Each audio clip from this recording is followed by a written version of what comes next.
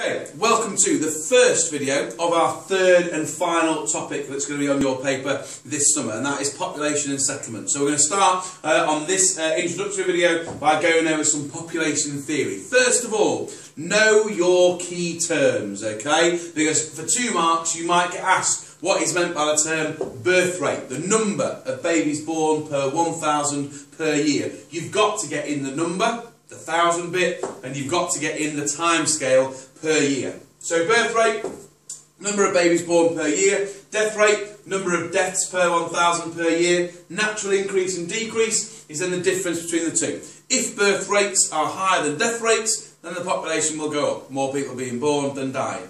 If the death rate is higher than the birth rate, then the death rate of the population will go down because more people are dying than are being born. Nice and simple, okay? You've also got something called infant mortality, where very uh, important when you're looking at like LEDCs and why you get high birth rates in LEDCs. Infant mortality, the number of babies dying under the age of 1 per 1,000 per year.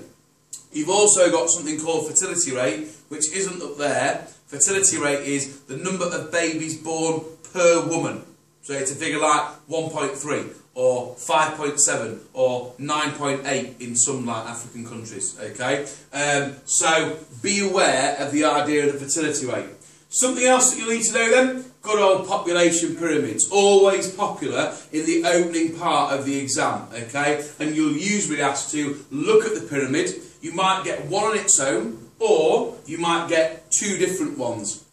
And you'll be asked to like read data off it, and you might be asked to compare like changes over time between two different countries. You might be able to, you might then be asked about what implications this has, which we'll get onto as the video goes through. So, if you're asked to comment on like the features of a pyramid, what we've got here is an LEDC pyramid. So it belongs to a less economically developed country. You know that because the very wide base tells you that you've got a high birth rate, okay? The widest part of the pyramid is your younger population. You've also got a narrow top, tells you that you've got a high death rate, and it also tells you that uh, that narrowing pyramid means you've got a lack of economically active people, okay? That's also a common feature of your LEDC, that fewer people live to each of the next age group, okay? So fewer people aged like 45 to 49 than there are aged 40 to 44, okay? Almost people are passing away at every single stage of the pyramid.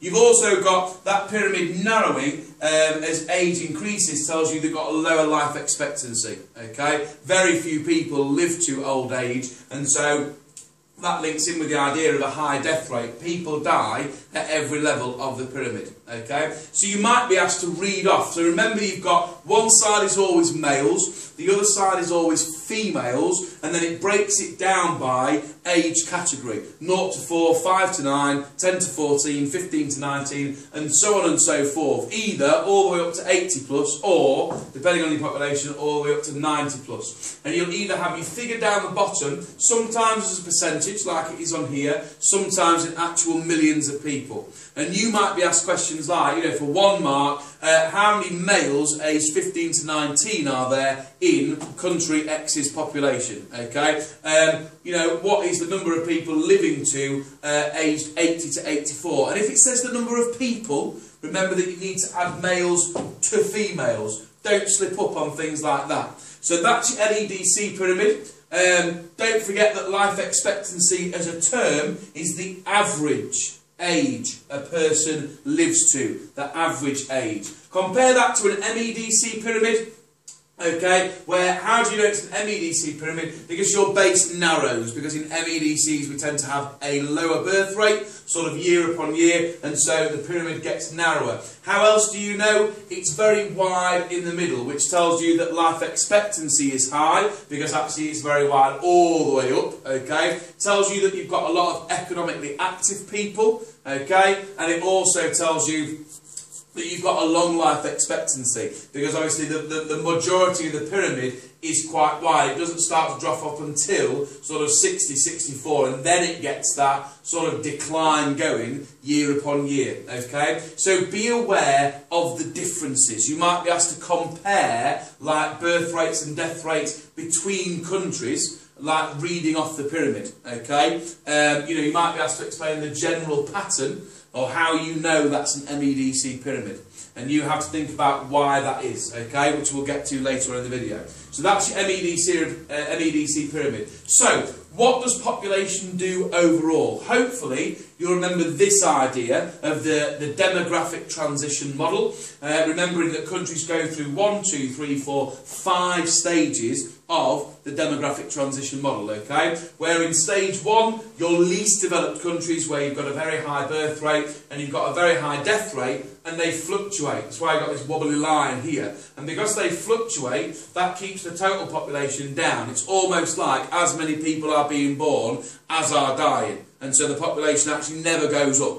As a country begins to develop through stage two and three, the first thing that happens is you get investments in medical care, for example. So fewer people die because they can get cures for diseases. Or you start to get better diets. So fewer people die because they're eating better, okay? Um, you get an improvement in standard of living, so people live in better, cleaner, more hygienic conditions, so you reduce the risk of disease. So your death rate starts to go down, okay?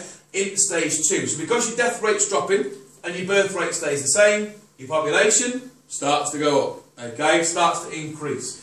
As you went to stage three, you then start to see things like the use of contraception being introduced. So people use contraception, so actually the number of babies start to fall. Or you uh, provide better economic like development for people and so people can get jobs and therefore because they get jobs they actually don't need to have as many children to work uh, they're earning their own money. They don't need to have like eight children all going and working for them, okay? So the birth rate drops, but because it drops less than the death rate, the death rate, look, is now almost started to steady off. Your population is still increasing because your birth rate is still higher than your death rate.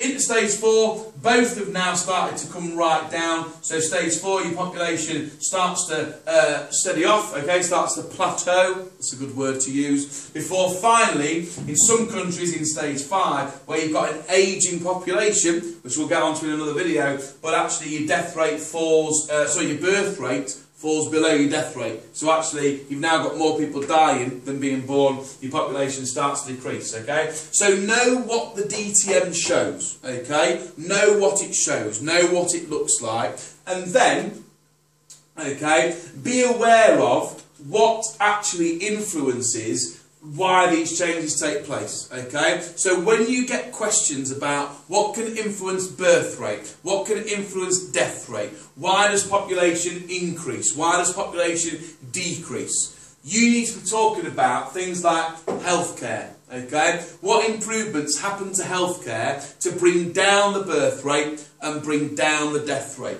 Okay, so more, more doctors per person, so more people have access to medical care, better quality hospitals, cures for diseases, use of contraception. Okay, education. You improve standards of education, so therefore people know about the use of contraception. Yeah, people know um, about how to like plan a family. Okay, uh, people do better in school. You improve the quality of education, so that people do better in school. They get qualifications. They go and get higher paid jobs. Again, they need fewer children, or they can afford a better quality of life so they're less at risk of dying from like living in poor living conditions. Okay, uh, economy, providing opportunities for people, providing more jobs and so on and so forth, and lifestyles. Okay, people choose to lead different lifestyles. Women choose to go to work rather than be stay-at-home mums. Okay, more women do that, birth rate shrinks. Okay.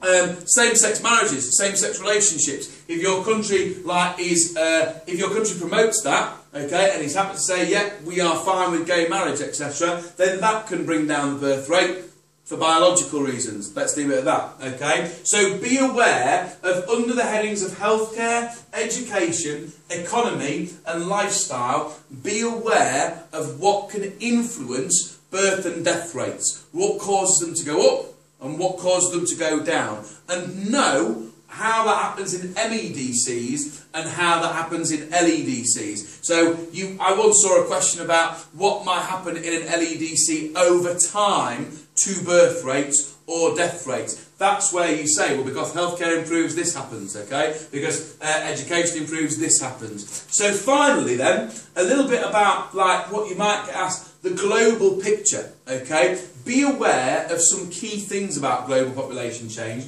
Be aware that population continues to go up across the world, okay? The globe's population is increasing.